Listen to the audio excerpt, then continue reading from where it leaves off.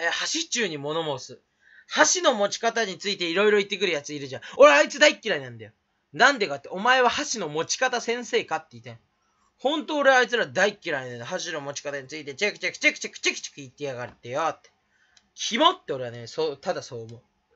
本当にあなたがやってることすごい気持ち悪いよ。超キモい。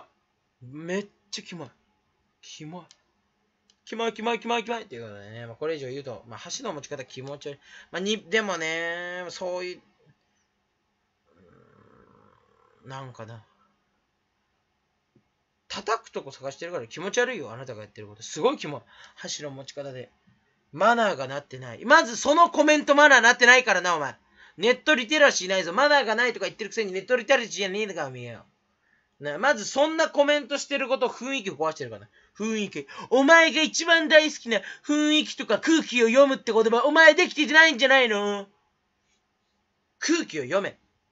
本当に。あ、空気なんかないからネットは電気だからみたいな言い訳で逃れようとするんすか？めっちゃキモいよ。本当に。キモ、箸中俺大嫌い、マジで。マジ俺これからめっちゃ変な箸の持ち方するわ。マジで。もう、箸中が、んキーってなりすぎて、血管がプチンってなるくらい怒らせたるわ。うん。でもマジね、俺そんな箸方、箸の持ち方綺麗じゃないから。え次回の動画で会いましょう。バイバイ。